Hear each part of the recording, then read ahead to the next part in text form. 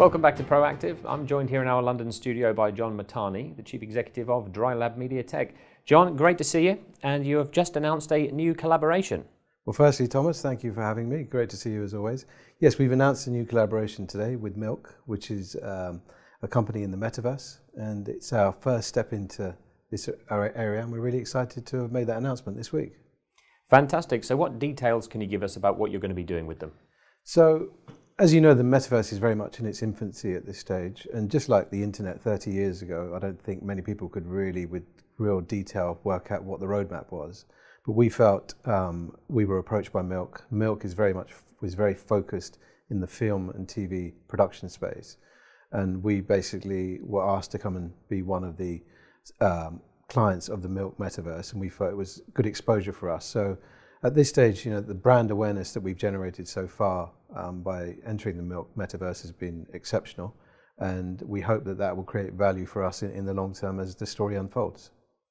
Fantastic. So, where does this fit in with your overall strategy, John? Yeah. So, our overall strategy is to um, build um, strong strategic alliances. You know, so as well as being in the sort of digital world, you know, the, the, concept of the metaverse is a new extension of that of that digital aspect. So, you know, currently we're talking to a number of um, key suppliers within the production ecosystem, and we're trying to deliver more and more strong alliances so we can help create greater exposure for the Drylab brand, but also make sure that more and more people are actually using the platform. And what the metaverse does through MILC is it gives us a new vertical for us to, to, to, to pursue. Understood. So, where specifically is the value to Drylab in this particular collaboration? I think it opens us up to a new market, to be fair, because, you know, again, it's really difficult for me to give you um, a real specific on where we see the value, but by not being there, we're doing ourselves a disservice. So, to actually have a shop front within the metaverse, for us, we believe will only be of added value, you know, so that for us, there's no downside from, from actually being within that space. Understood. So it sounds from what you're saying that we can expect more deals of this type in the future. Most definitely. You know, we're, we're constantly evaluating the market to look at good opportunities where we can actually see Drylab being positioned in a market which yields um, returns for the business in the long run. And again, as I said to you, the metaverse is very much it's, it's in its infancy, and we want to just basically get our foot in the in the room and be, be one of the players that is regarded as as a player within that space. Understood.